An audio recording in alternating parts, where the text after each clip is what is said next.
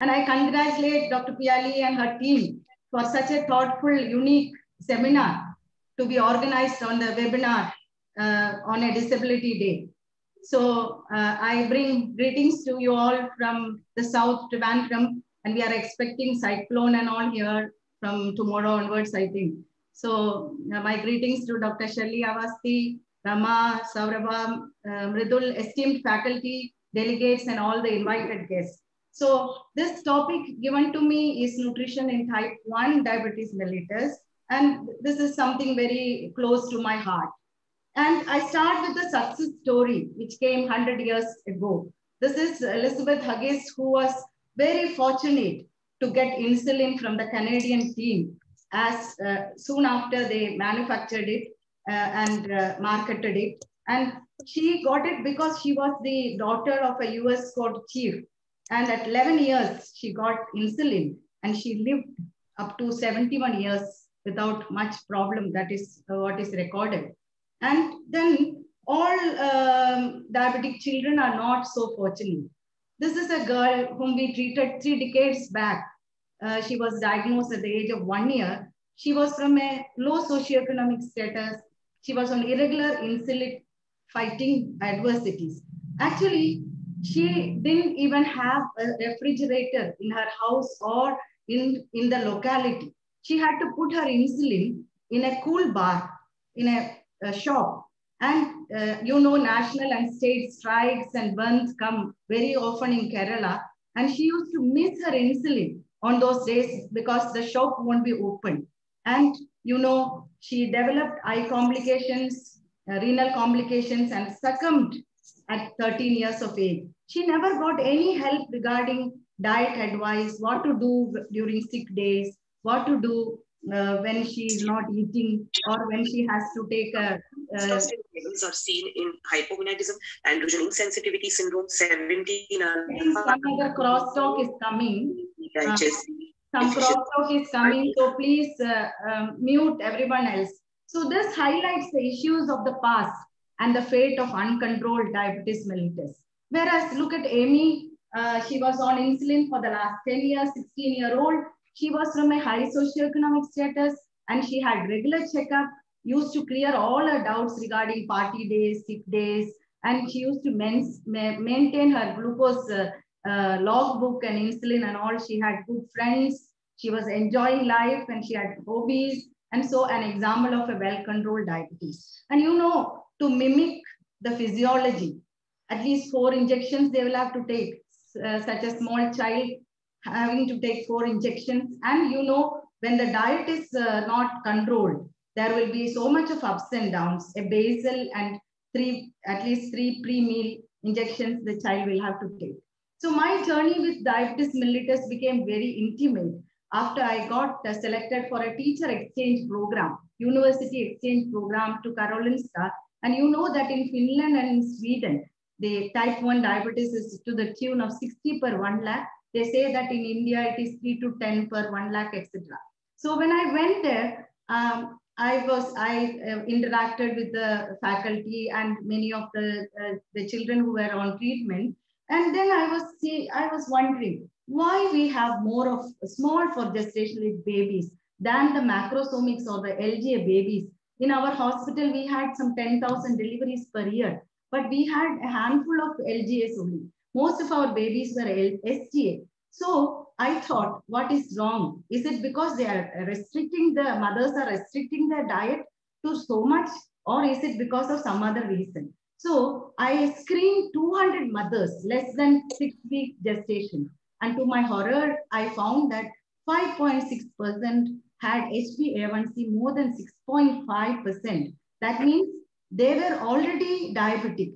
But usually we do the screening by 16 or 20 weeks and brand them as gestational diabetes mellitus. That means we miss the opportunity to have euglycemia during the most crucial period of organogenesis. And this cohort had 17.5% of GDM, that is also quite high. And I presented this as a poster in the International uh, Pediatric um, um, Congress at Vancouver, and we have also published it. And so, what about a D diet? Is it a diabetic diet? No, it is not. Actually, it is a disciplined diet. I think this disciplined diet is for everyone. It is for the whole family. It is a paradigm shift to a traffic signal approach of a disciplined diet for the whole family and not the child alone. The child alone cannot do any dieting. And let the child retain the joy of eating with the family. And as we know, the general rule is that for glycemic control, go for a low-cal diet. And if you have microalbuminuria, you restrict your protein to moderate protein. And if you have hypertension, go for a low salt. That is all. Then processed foods contain very high salt. So salt has to be restricted. Say no to all the commercial diabetic diets and foods. That is my uh, take. And uh, better to avoid artificial and, uh, and all the Indian sweeteners because uh, if you exceed it, it can cause liver damage, etc. And we have to change to a small frequent meal with regularity and go for skimmed milk because so that the saturated fat content will come down. So this is the, uh, the traffic signal approach. Go from the high sugar, high energy food to the low energy and high nutrient diet. That is the traffic signal type of approach. Now, I will share the 10 commandments of the discipline diet with you. Number one is that you have to go for a child with type 1 diabetes mellitus will have to be advised three major meals and three snacks. That means breakfast, lunch, supper, morning snack, uh, then afternoon snack and bedtime snack. So three snacks that, that, is, that is small meals so that their ups and downs in blood sugar will be less. Number two is that avoid sugars, refined carbohydrates, cakes, pastries, honey, chocolate, sweeteners as far as possible. But you must allow a chocolate or a cake piece during their happy birthday. But I have something else also to tell this August audience that let us be the change agent for a better world. I always tell, don't bring chocolates and cakes to the school on happy birthday. If there are 30 children in the class, 30 days this child will have to eat or refuse. That is very sad, you know. So I always say, depending on your financial capacity, buy 30 pencils, 30 pens, 30 pencil box, etc. According to the your choice and give it to the school. And the teachers can also say, have your chocolate at home because it is in a controlled environment. Parents can decide a little more insulin or something can be given. How much carbohydrate to be taken? And usually we say restricted to 50% or less of your energy. See what is happening in an Indian diet? In a rural Indian diet, 76% of the energy is coming from carbs. And in urban, 71%. Whereas in Europe, it is only 39% of the energy is coming from carbs. So we have to uh, restrict that uh, total amount of uh, carbohydrate in our diet. Then which carb? Oh, usually the answer will be, they will be given low glycemic index uh, items, high glycemic index to avoid, etc. But the most important part of it is that the glycemic load. What is the glycemic load? We should teach the child that suppose I am taking pineapple. There is the glycemic index is 59. Okay, it is on the lower side, I must say. But 100 gram of pineapple will give 10.8 gram of uh, sugar. That means the glycemic load is glycemic index into carbohydrate content divided by 100. That means it comes to 6. So a glycemic load less than 10 is low. If the, if the glycemic load is more than 20, it is high. So the child will have to choose the item and also the, uh, the portion size will have to be adjusted. Then people speak about amylase resistant starch, which is not digested in the upper gut, but it will go to the colon and then will be uh, um, fermented into short chain fatty acid, which is a fuel for the colon, etc. And it can be produced enzymatically, but are there any natural sources? Yes, raw banana. These are amazing food for diabetics, they say. And in Kerala, many people are now promoting the unripe uh, banana or the jack green, which is, that is, the principle is that it has got amylase resistant starch, which will not cause an immediate glycemic load, even if you take it. Now, the fourth commandment is that restrict fats to 30% of your total energy. And look at the items which are high in fat and especially avoid trans fat, which is solid at room temperature. That is, most of the animal fat and the pastries, everything is solid at room temperature. The fat is solid at room temperature. That is the trans fat. And so saturated fat, you restrict to less than 10%. That is animal fat, coconut and palm oil, etc. And high cure uh, mono unsaturated fat to more than 10%. They, that is the peanut oil, the olive oil, the canola oil, etc. Then 10% is your PUFA, that is the polyunsaturated fatty acid. But here I will say that you have to distinguish between omega-6 PUFA and omega-3 PUFA. Omega-6 PUFA, if I if I am told that you change to sunflower oil, it, is, it has got 56 parts of omega-6 compared to one part of omega-3. So 56 is to 1. That is omega-6 is pro-inflammatory and omega-3 is anti-inflammatory. We want a balance. That is, keep your omega-6 to omega-3 in the ratio of 5 is to 1 or at least 10 is to 1. So what you have to do is that when you are using the coca oils, most of that is omega-6. So you hike your omega-3, that is fish oil, walnut, black seeds, canola oil, soybeans contain omega-3. And next is what about protein? Increase your protein, that is your egg, milk, meat, legumes, etc. And you can have a germinated uh, legume that is, uh, it will have more micronutrients, it is more digestible, and the um, density on cooking will not be more, viscosity will be less. So high your protein to the rest of it. That means we said 50% is carbohydrate, 30% is uh, um, your fat, then up to 20% can be your protein. That is what we teach. And this germinated uh, um, uh, seeds can be uh, allowed to grow. We, what we do is that this is microgreens. We have a microgreen club also. Most of the doctors are doing it. Just take tissue paper, put it in uh, quite good strength in a, a container, wet it properly, and then sow all your germinated seeds onto that. In, in within a week, you get microgreens like this, and cut it at this level and use it. It is very good if you can take it with an omelette. You can uh, chop it and put it in an omelette and then take it. And so a variety of vegetables are very good because they are the sources of antioxidants and the micronutrients as Dr. Shali was uh, um, referring to. See what happens when vegetables are taken before eating rice or after eating rice. So when rice was taken before vegetables, look at the glycemic load. It was so much higher. Whereas eating rice after vegetables, see the glycemic load was less. So take your cereal after your vegetables. So a bowl of vegetable can be given to the child and it can be even decorated with a little uh, fruit, one or two grapes, one, uh, one portion of a, uh, um, of a mosambi or something like that.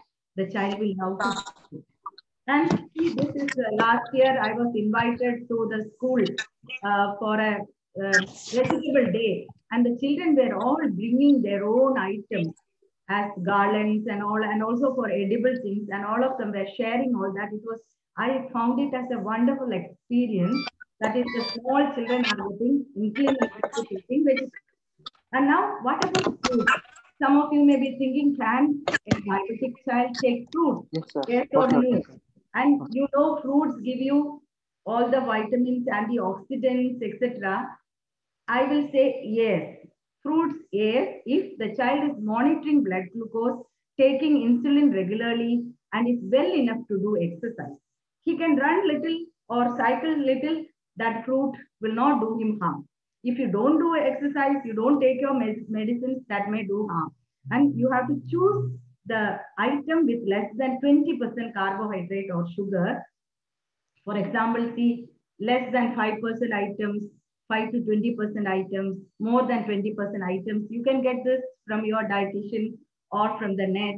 See, jackfruit, banana, potato, jam, all are having more than 20%. I will say, don't choose from that. You choose from the other groups.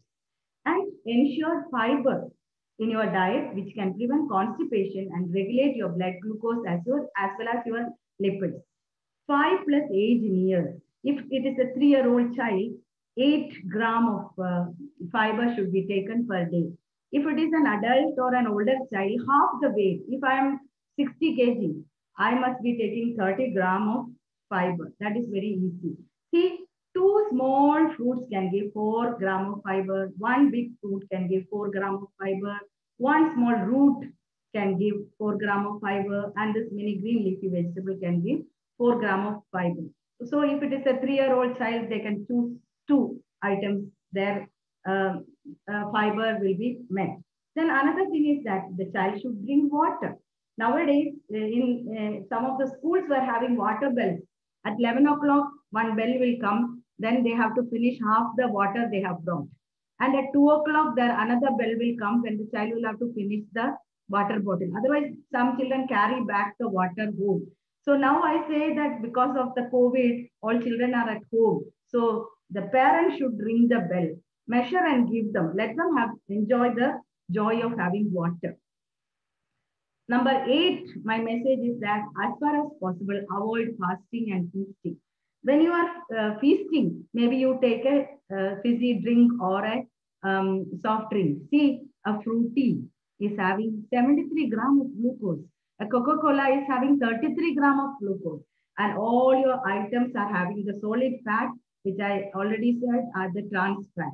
And look at this. You may be taking a McDonald's or a Pizza Hut or Kentucky chicken, etc.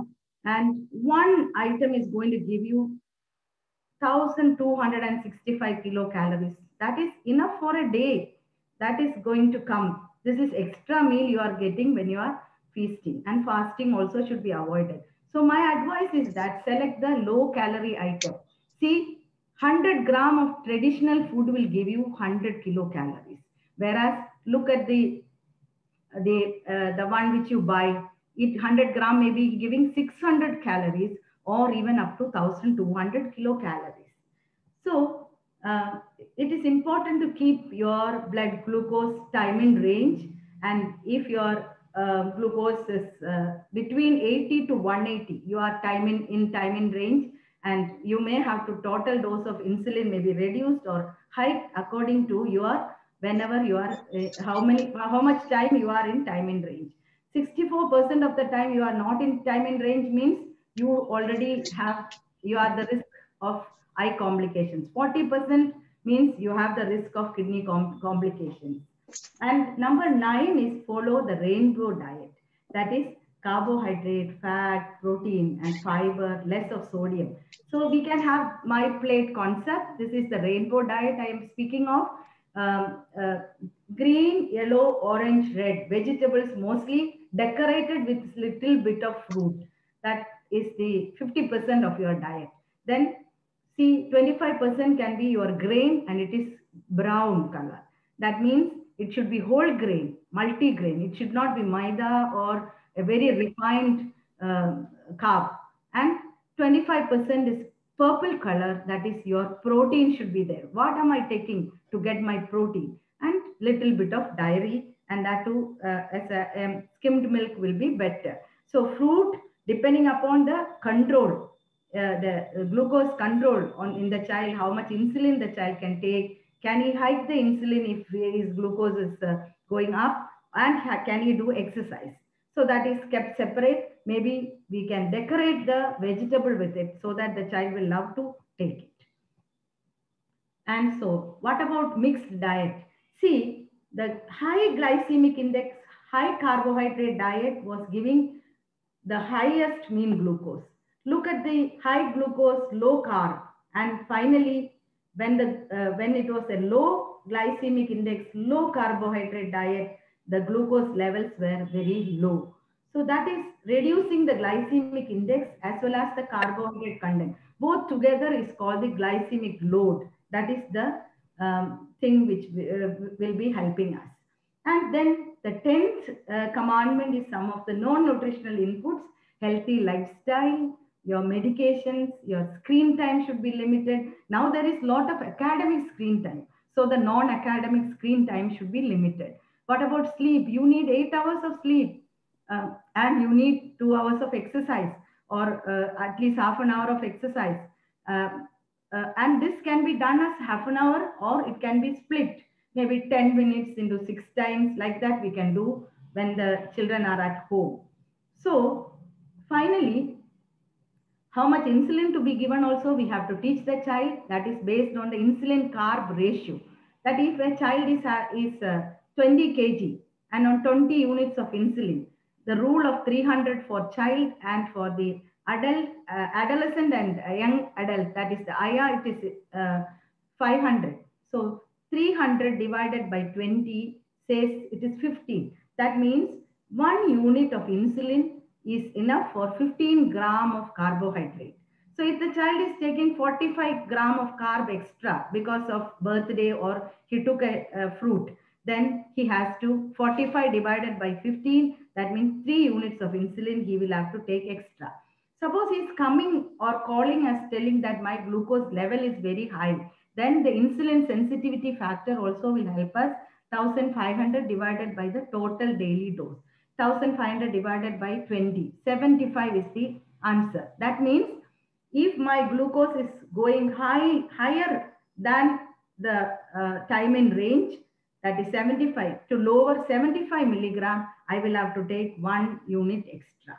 And so we can uh, say that roughly school going child, uh, 15 gram is one unit. And we have to teach them to learn to, uh, to read the, the food labels.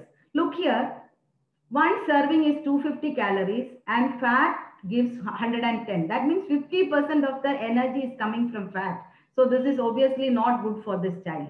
And look at the total fat, 18%. Anything closer to 20% is high. And look at the sodium, 140 milligram per serving only what we want, it is 4, 470. Uh, and look at dietary fiber zero. And so we have to teach the child to read this. And so if the child is having 15 is as the uh, as, as the breakup, we will tell them that you can take three choices. Uh, that is 45 gram of carbohydrate for breakfast and for lunch, again, another three choices and for supper, two choices. And for each snack, you can take one. So how do they do it? Maybe you can give them 15 gram exchanges. So this is what the dietitians usually do. One cup of mixed vegetable, half cup of oats or Uh, uh, one samosa. Like that we can give so that the child can choose and take.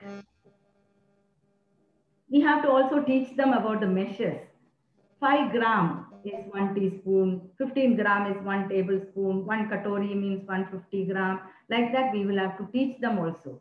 And the next thing is our prime duty is to do the growth monitoring.